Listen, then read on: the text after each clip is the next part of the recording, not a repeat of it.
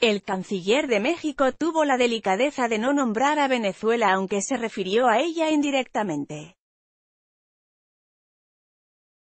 Pero yo, debo decir que a nosotros nos duele mucho México y que digan que en Venezuela no hubo condiciones para la elección, señaló el canciller. En estas elecciones al menos 110 actores políticos y candidatos en México han sido asesinados. Guerrero, Puebla, Veracruz y Oaxaca, son las entidades en las que más agresiones se han presentado. Con información de reforma.